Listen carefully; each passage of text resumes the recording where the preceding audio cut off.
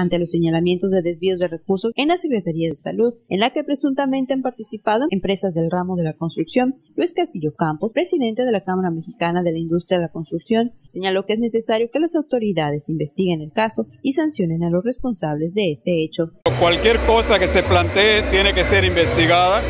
Yo creo que planteándolo ante las autoridades competentes, eh, las investigaciones se deberán llevar a cabo y si resulta cierto, si resulta algún responsable, pues tendrá que haber un castigo. Ante el caso de empresas constructoras que supuestamente realizaron estudios científicos para la Secretaría de Salud, señaló que antes de asignar un trabajo es necesario verificar que el giro de las empresas coincida con la labor que van a realizar. En la Cámara cuidamos de que los giros de las empresas sean precisamente aquellos en los que están equipadas, aquellos en los que tienen experiencia y creo que si no se da el caso en este tipo de empresas, pues no, no está bien.